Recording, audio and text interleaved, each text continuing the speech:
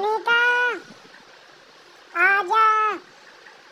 बर्तन धो ले ज्योति बुला रही है।